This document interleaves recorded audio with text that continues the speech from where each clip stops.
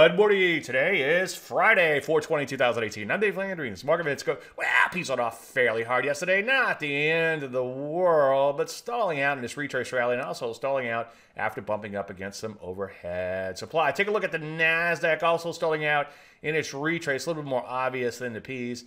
As you can see, down about three quarters of a percent yesterday. Russell also down about three quarters of a percent, too, looking kind of wide and loose and sideways at best. It was a little uglier internally than the indices would suggest. For instance, some areas like the semis got whacked especially hard, as you can see, down three and a third percent. So what do we do? Well, a couple things. Number one, make sure you really, really like the setup. And number two, make sure it could trade without worrying about the indices in and of itself. In other words, not be held hostage by the choppy action indices.